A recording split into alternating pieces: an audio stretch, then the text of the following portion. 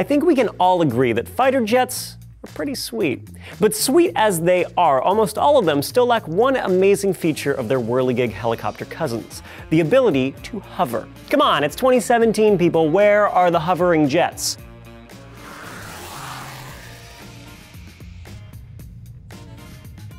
The problem is a fundamental one. You can think of the rotors of a helicopter as wings. They're constantly moving through the air, generating lift, even when the chopper is hovering in place.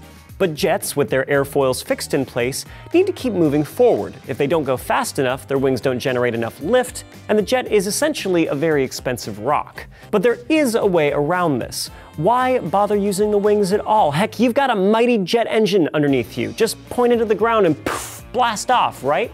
Well, over the years, engineers have tried a few different approaches, but the most successful idea was to use thrust vectoring, like on the Boeing AV-8B Harrier II.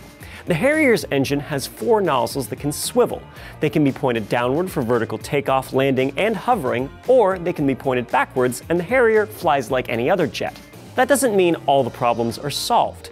Unlike a helicopter, whose spinning blades act like a gyroscope and stabilize it, a hovering Harrier has to be balanced on its thrust, which is no easy feat. Worse, since there's no air passing over the wings, the normal control surfaces are useless.